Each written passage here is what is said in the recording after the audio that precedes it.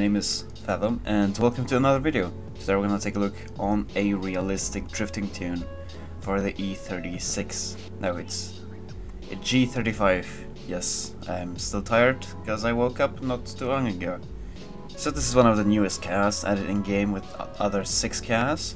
This is an Infiniti G35 Skyline and I'm gonna show you a realistic tune for it because why not? So of course you want to choose the ultimate tune, as always.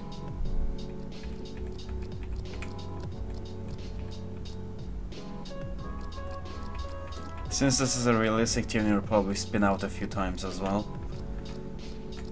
But when you're about to spin out, just uh, press the clutch and you'll be fine. There we go. That is the tune itself. Hope you had time to copy it and now for some racetracks.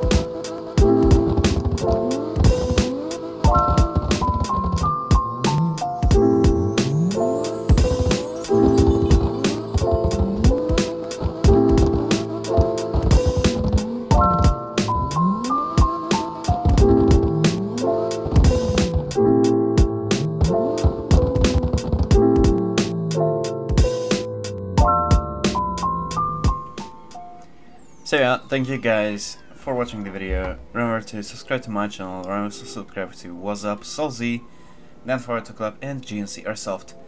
I wish you all have a good one, and see you guys in the next video tomorrow. Cheers.